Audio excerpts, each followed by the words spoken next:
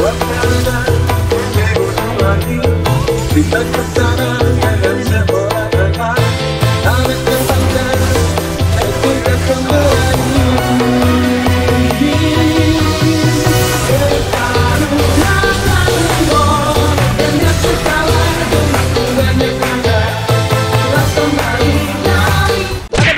lagi channel ini bersama gue Lian dan kali ini kita bakal pelajarin champion support. Biar nggak roll baron mulu karena ada yang komen bang jangan champion montage montage mulu. Oke ini gue bakal kasih champion roll support tanker ya. Jadi support di Wild Rift itu bisa juga enchanter bisa juga mage dan juga gue sering banget temu di ranked. Kenapa gitu ya? Supportnya tuh looks gue paling kesel gitu sebenarnya kalau misalkan lu pakai support looks karena looks tuh kayak depends on stun dia. Kalau stunnya udah gak kena tamat sudah gitu nggak bakal ada yang open warnya juga. Cuman Alistar ini support rasa carry banget seru banget mainin Alistar. Ini salah satu champion favorit gue kalau misalkan gue main di support entah Alistar ataupun Rakan itu gue suka. Tapi kali ini gue bakal bikin support Alistar dulu. Ini cocok banget buat lo yang buat main di early kombonya tuh easy banget bakal gue kasih tahu. Dan kita mulai dari itemnya dulu. Itemnya tuh sebenarnya banyak banget opsional bisa lu pakai. Itemnya lebih arah tanker juga dan damage dari Alistar itu sebenarnya magic damage bisa ditambah item magic tapi gua nggak nyaranin. Lebih baik item eh, ini aja item support tank gitu ya. Item item tank item support juga. Terus buat sepatunya itu tetap opsional. Lo bisa pakai tenacity buat resistance. Lo juga bisa pakai plated steel cap buat armor physical lo juga bisa pakai boots of swiftness biar rotasinya lebih kencang lagi. Cuman di sini gue pakai tenacity pakai mercury threads terus gue ubahnya langsung ke arah proto belt. Ini item pertama yang kali gue buat. Gue nggak bikin item tank lain tapi gue bikinnya ke arah proto belt biar bisa ngedes terus buka duluan jadi initiator yang keren banget. Pokoknya kalau misalkan lo pakai proto belt sama sepatu duluan awal-awal ini gue pelajarin di turnamen. Terus buat next itemnya bisa karena Deadman Plate. Ini bikin lu movement speednya makin kencang juga Dan emang sebelum ada turnamen itu jarang ada Alistar bikin Deadman Plate dulu Cuman kelihatan di turnamen tuh banyak banget support-supportnya bikinnya Deadman Plate dulu biar bisa rotasi Jadi nggak cuma di Land Dragon Land doang dia bisa bantu pas lagi Scuttler, dia bisa bantu pas lagi ambil Herald, pokoknya muter-muter supportnya. Cuman pasti lu juga lihat-lihat ADC lu siapa. Terus nextnya bisa bikin juga karena Zeki Convergence ini ngebuat kayak Elis lu itu punya attack tambahan kalau misalkan lu pakai ultimate dan ini bakal enhance ke ally atau ke temen yang punya AD paling gede di tim. Terus nextnya sebenarnya lu bisa bikin juga protector foe. Ini kalau misalkan lu atau teman lu kena damage, dia bakal ngasih shield sama 20% bonus health gitu ya. Jadi lumayan juga buat ngeprotect. Cuman di sini gue bikinnya ke arah spirit visage buat health regen diri gue sendiri sama ngeteng juga. Ya pakai protector foe juga boleh. Terus nextnya juga bisa bikin uh, opsional antara Thornmail kalau misalkan musuhnya itu memang banyak melee-melee terus dia physical damage ada juga regen-regen sama lifesteal-nya bisa pakai Thornmail. Tapi kalau misalkan enggak musuhnya banyak kritikal kayak Suo, Lucian atau siapa pun yang punya kritikal gede lu bisa ke Randuin Omen. Terus bisa juga Abyssal Mask kalau misalkan teman-teman lu itu punya magic ya damage yang gede misalkan mid lane-nya magic, jungle-nya magic juga kayak Evelyn lu bisa bikin Ab- Abyssal Mask karena ini bakal ngasih 15% bonus magic damage ke arah temen lu. Nah, terus yang terakhir ini kenapa gue bikin Crystal Reflector sebenarnya juga iseng aja gitu ya karena ini nambah ability power Terus juga si Alistar itu damage-nya ability power gitu, magic damage. Jadi bisa krik Crystalline Reflector, bisa juga Warmog.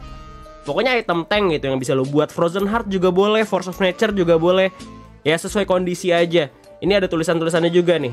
Ada reduce all enemy, NRB enemies, attack speed. Pokoknya kalian juga bisa baca di item-itemnya. Mungkin kalian pengen pakai itu apa item yang buat di Alistar ini. Terus buat rune-nya, rune juga banyak banget yang bisa dipakai di Alistar. Cuman yang paling cocok sebenarnya Aftershock menurut gua karena Aftershock itu bakal ngasih apa ya? Ngasih defense tambahan juga, ngasih damage tambahan juga. Terus setelah lo immobilizing itu bisa kayak stun, slow itu bakal kayak ngeluarin kayak pecahan gitu. Jedar kayak gempa gitu aftershock. Font of Life juga boleh. Ini lebih ke area tim heal gitu ya, lebih ke arah support banget. Tapi yang lebih cocok sama Alistar sebenarnya aftershock. Terus kalau misalkan mau pakai ke arah pass rush juga ada Alistar pakai pass rush ini bikin movement speed lebih kencang juga. Tapi gue sih nyaranin ya udah aftershock aja buat main Alistarnya udah paling aman. Terus yang keduanya itu weakness. Ini udah paling cocok lah kalau misalkan mau dipakai buat di support karena emang udah ada CC-nya gitu si Alistar. Pakai brutal juga ada sebenarnya Alistar pakai brutal, tapi ya udah lu jangan aneh-aneh gitu, weakness aja. Terus di sini bisa pakai adaptive crapace, lu bakal dapat hal tambahan. Lu juga kalau misalkan lagi lu darah di bawah 50% bakal dapat defense tambahan lagi entah itu damage yang masuk itu magic atau physical. Jadi adaptive carapace Carapace itu bagus buat si ini apa Alistar. Terus di sini Pack Hunter. Ini rune yang biasa memang dipakai buat champion-champion support.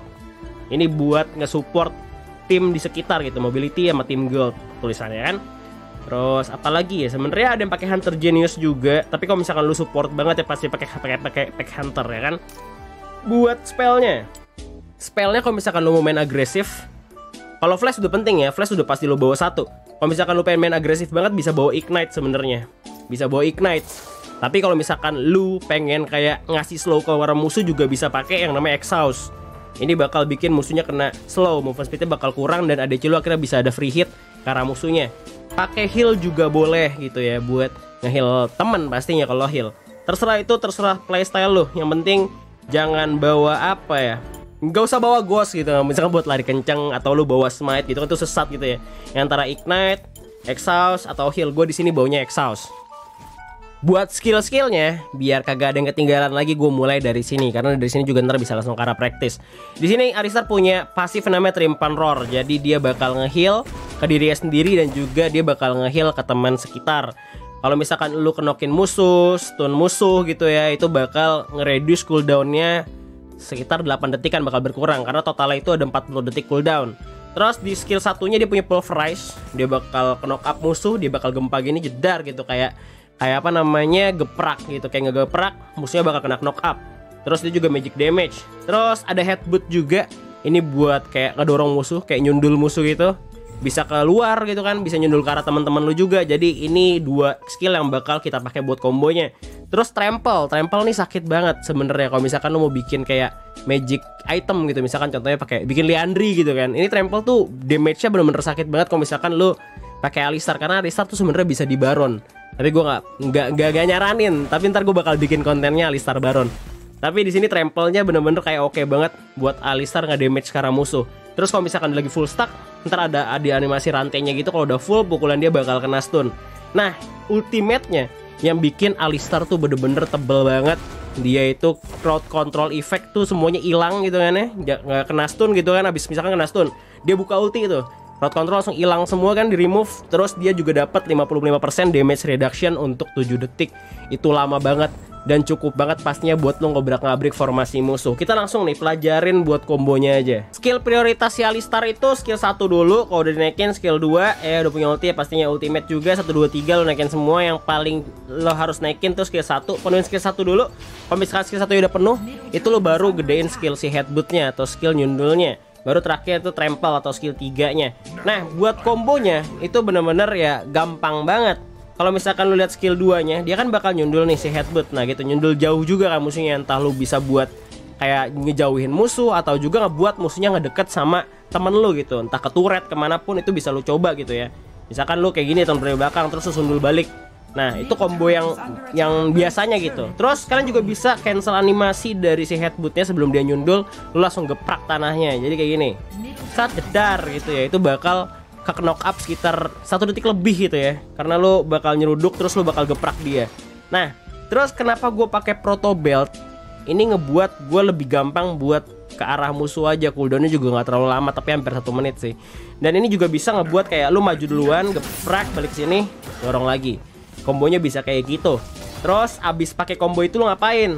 Geprek trample simple banget lo buka ada stakan di bawah kalau misalkan ada penuh pukul. Musuhnya bakal kena stun bakal sesimpel itu.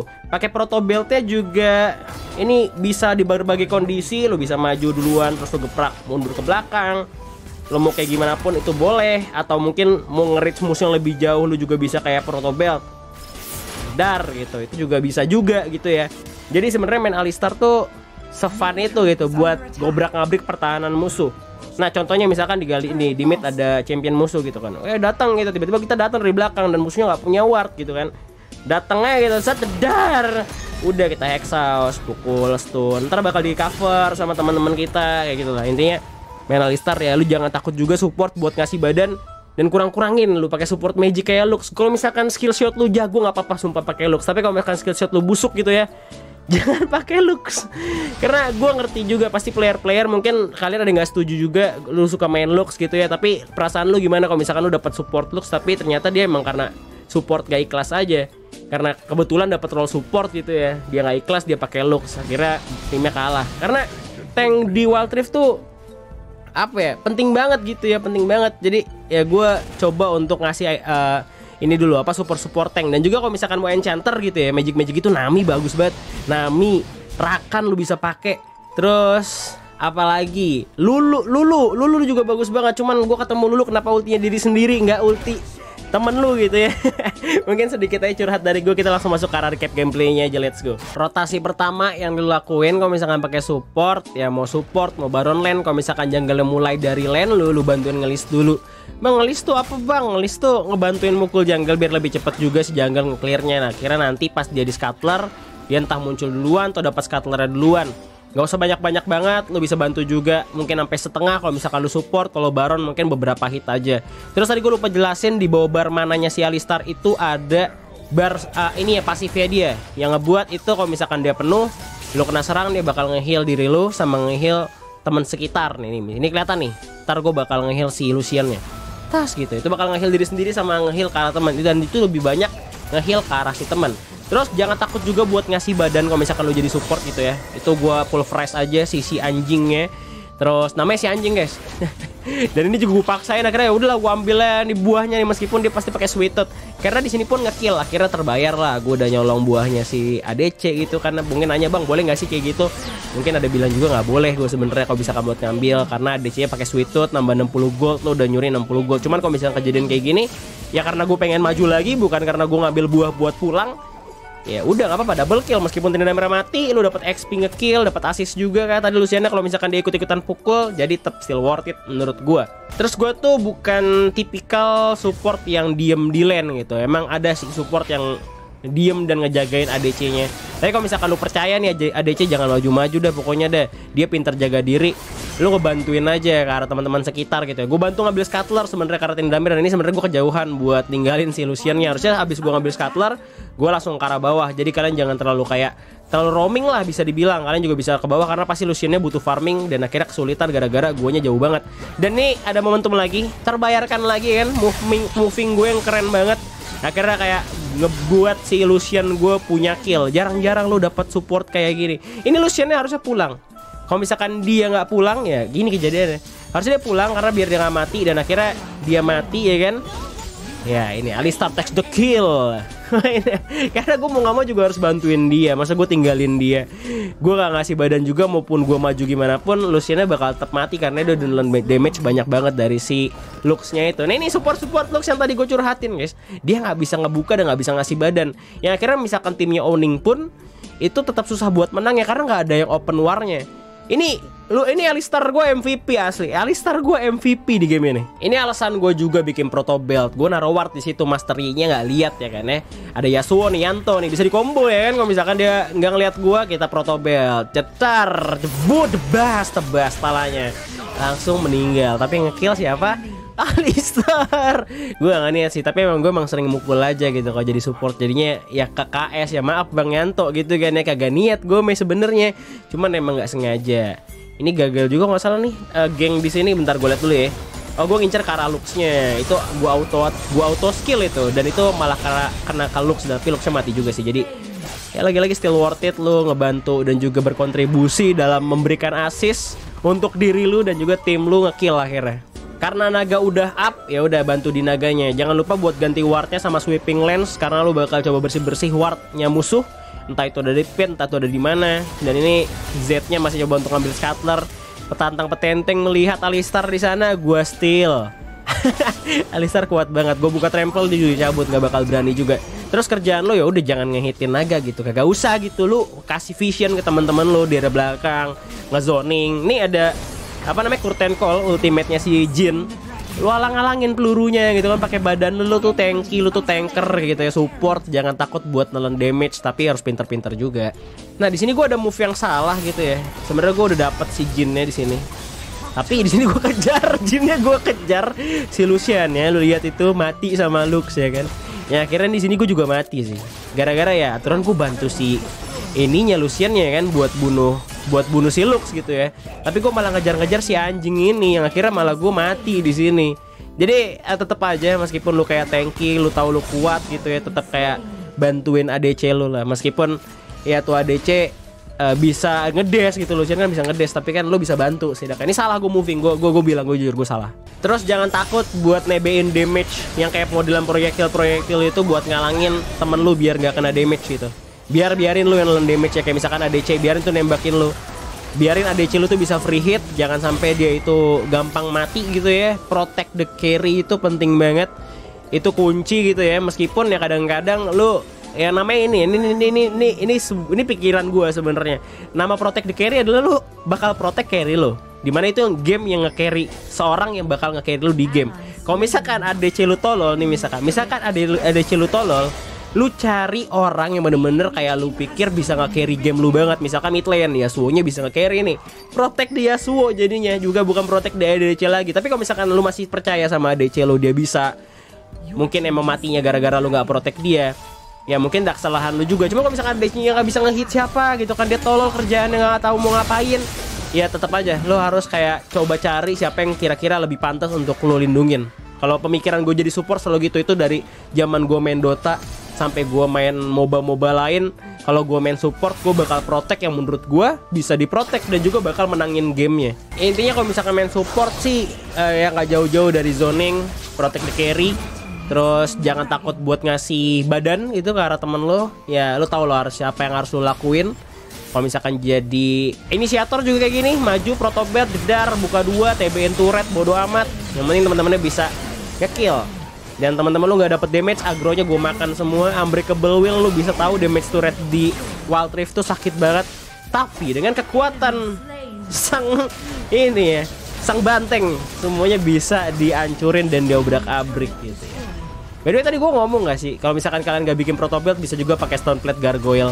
Itu juga bisa biar kalian lebih TB lagi. Ini gue setiap bikin konten selalu jam 3 pagi sih. Jadi gue ada ada yang kelupaan tapi ya itu dia lah. Item bisa kalian pelajarin pelan-pelan ya. Gue juga nggak bisa langsung bikin semua championnya karena udah banyak banget. Tapi ini dia video Alistar. Mungkin nextnya bakal champion baru sih. Gue sebenarnya pengen konten LoL PC ada Kale ada juga Revamp Mundo sama Morgana. Tapi ntar gue bakal coba dulu. Kira-kira kapan mereka keluarnya? Kalau misalkan udah keluar di Wild Rift dulu ya udah gue buat Wild Rift tapi kalau misalkan tidak masih lama gitu ya nggak semua champion keluar. Mungkin gue bakal coba pakai yang LoL PC-nya oke okay, guys thank you nonton. Sampai jumpa di video berikutnya. Goodbye